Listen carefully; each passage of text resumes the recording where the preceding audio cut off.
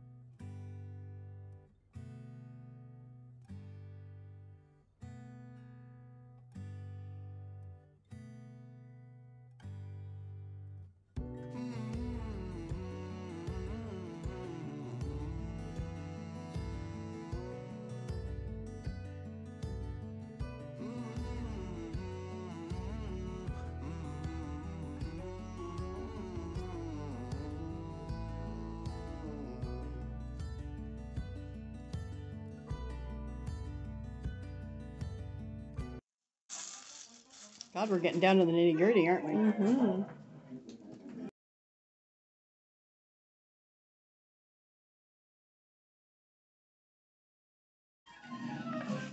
These boxes are so cute. They're going to make great gifts. This is a small box.